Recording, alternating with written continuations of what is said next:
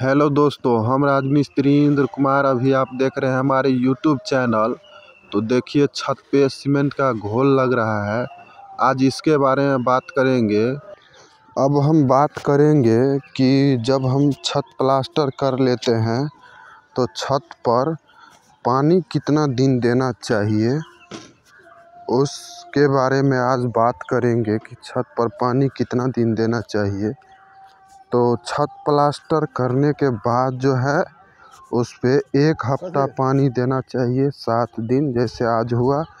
और कल से एक हफ़्ता पानी देना चाहिए। तब जाके छत का जो प्लास्टर है वो मज़बूत प्लास्टर बनता है।